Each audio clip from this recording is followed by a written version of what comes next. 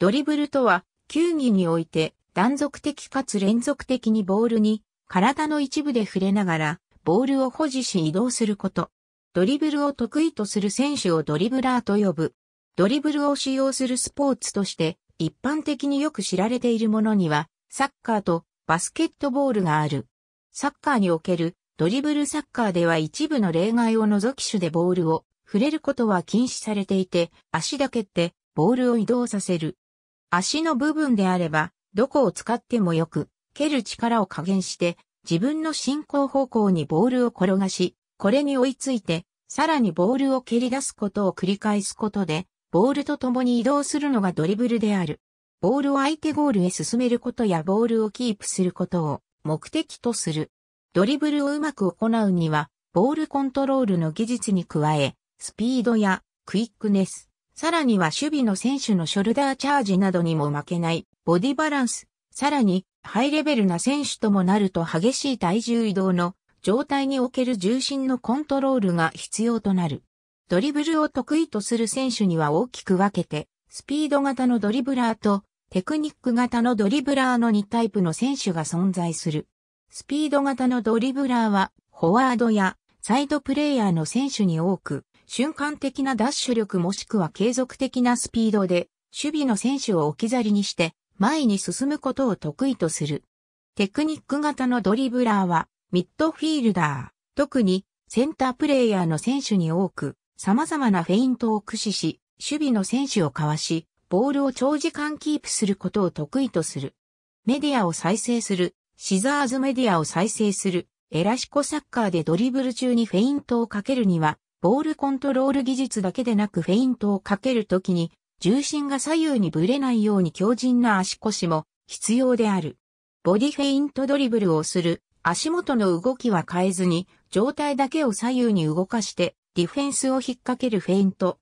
サイドステップ右に抜くときは左足を大きく、左前に踏み込み、ディフェンダーを引っ掛けて、右足のアウトサイドで右にボールを、左に抜くときは左右逆になる。ダブルタッチ別名、ラクロケタ、向かってきたディフェンスに対して、どちらかの足のインサイドで横に出し、もう片方のインサイドで前に出して抜く技。ステップいらずの比較的簡単な技のため、突然の際にも勝手が効く技である。この技を得意とする選手は、アンドレス・イニエスタである。シザーズ詳細は、シザーズを参照別名ステップオーバー、内側から外側、あるいは外側から内側へ、ボールに触れずにもを上げることなくボールの横を高速で、またいで、ディフェンスを惑わすフェイント。ディフェンスはボールをまたぐ動作につられて動いてしまうか、ボールをまたぐのか蹴るのか混乱して動けなくなるので、その隙をついて抜く。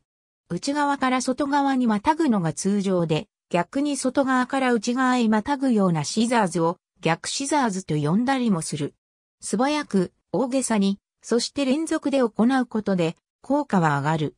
また中央でプレーするセンタープレイヤーは重心をずらさずに上下動を、サイドプレイヤーは重心をコントロールしながら左右への動きを大きくすることで効果が上がる。前述のものはブラジルのロナウドやポルトガルのクリスティアーノ、ロナウド、後述のものは同じくポルトガルのルイス・フィーゴなどが得意とする。シザースとは英語でハサミのことである。ペダラーダとも言う。エラシコ正しくはエラスチコあるいはエラシチコと発音する。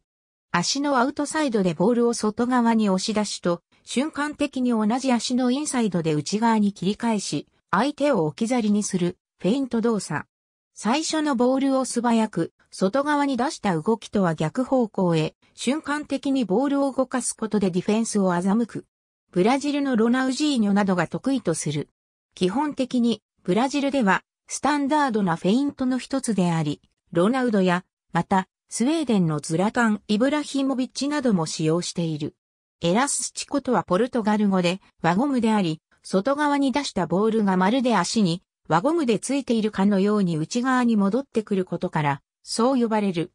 エラスチコの開発者は、ロベルト・リベリーノと広く言われているが、リベリーノはセルジオ・エツゴから教わったと常々語っている。ルーレット足の裏でボールを止め、体を半回転させて、後ろを向きボールとディフェンダーの間に自分の体を入れてディフェンダーからボールを隠して、そのままボールを引き寄せながら、もう半回転してディフェンダーを抜き去る技。フランスのジネディーヌ・ジダンが得意とした。本来の名称はルーレットであるが、この技を多用するジダンの出身地がマルセイユであり、子供の頃のストリートサッカーで生み出した技術であることから、マルセイユルーレットととも呼ばれる。クライフターンボールを片方の足のインサイドで、もう片方の足の後ろを通してターンする。キックフェイントと併用するのが一般的。オランダのヨハン・クライフが得意とした。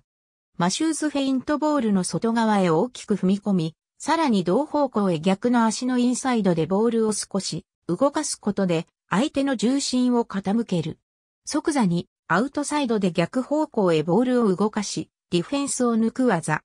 割と一般的なフェイントで多くの選手が使っている。イングランドのスタンリー・マシューズが得意とした。ラボーバボールを足裏で一度引いてまた前に出して相手を抜く技。ボールを引くとほぼ必ず相手が足を出してくるため、その反動を利用して相手の横、股などに通してかわす技。相手の様子を伺いながら行ういわば受け身の技であるため、抜くのに時間がかかるというデメリットがある。そのため、比較的ゲームスピードの遅い南米やスペインなどのリーグで使われることが多い。アンドレス・ダ・アレッサンドロが得意とする。シャポーボールを浮かせてディフェンダーの上を通して自分はボールを持たずに、ディフェンダーの横を通り過ぎる技。シャポーとは、帽子のこと。発音上、シャペウと言われることもある。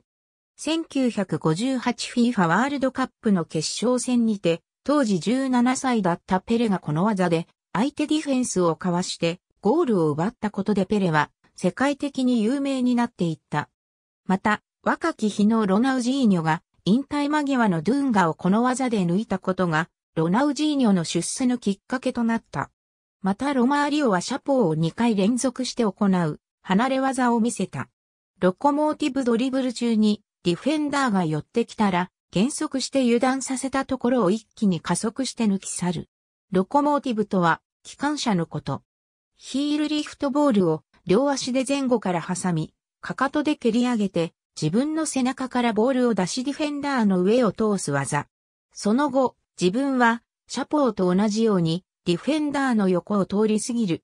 ブラジル人プレイヤーが好んで使うことで広く知られる。一方、曲芸的なプレイであるため、ブラジル以外で使うと侮辱的行為として見られることもある。2015年5月30日、コパ。試合後には、バルセロナの監督を務めていたルイス・エンリケマデモが、私がビルバオの選手だったら同じようなリアクションを取っただろう。もしくはもっとひどい反応を示していたかもしれないと発言し、ネイマールをたしなめた。2015年8月29日、ブンデスリーガ第3節バイエルン・ミュンヘン対バイエル、レバークーゼンにて、バイエルンのドーグラス・コスタがヒールリフトを使ったことに、メーア、ルア・メーア・ルア、あるいは、メーア・ルアとはポルトガル語で、半月を意味する。縦に蹴り出したボールと相手の外を回ってボールに追いつく軌道が描く様が半月に似ているため、この呼び名がついたと思われる。主に詰め寄せてきた相手 DF の背後にスペースがあるときに有効なテクニックでボールを底めがけて軽く蹴り出し、自分は相手を挟んで蹴り出したボールと反対側からダッシュをかけ、相手を追い越してボールに追いつくというものである。相手に向き合って左側に蹴り出せば、自分は相手の右側を迂回するように走ることになる。この際に蹴り出す動作の時点で予測され、カットされるのを防ぐため、極力自然にかつ小さな動きが求められる。特徴としては、スペースがあることが前提ではあるが、相手 DF をかわす際に時間を要さないので、カウンターなどで1対1の状況になった場合、技術的な要素から言えば決して難易度は高くなく、実際に小学生の試合などでも使う選手を見ることができる。しかし、DF のレベルが上がるにつれて使える場面が少なくなるとともに、瞬時の判断力とスピードが要求されるため、トップクラスになると、試合の中でこのテクニックを使える選手は少ない。ドリブルに精通した選手の中には、状況に応じて反射的にこのテクニックを使うことができる選手もいる。このテクニックを得意とする主な選手にロナウジーニョやフェルナンド・トーレス、ロビーニョが挙げられる。日本ではサントス・ワレサンドロやミハイル・ミキッチが多用する。日本では裏通り、裏街道などと呼ばれることもある。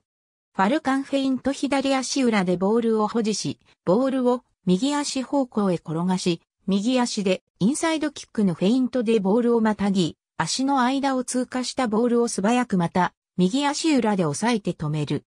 続けざまに右足から同じように左足へ連続で仕掛けることができる技。フットサルのブラジル代表選手ファルカンが得意とする自らの名前がついたフェイントテクニック。詳細はドリブルを参照バスケットボールにおけるドリブルバスケットボールではボールを手に掴んだ状態で規定歩数以上歩いたり走ったりといった行為が禁止されているため、進行方向の地面にボールを上から手のひらを使って叩きつけて跳ねさせ、これを連続的に行ってボールと共に選手が移動する。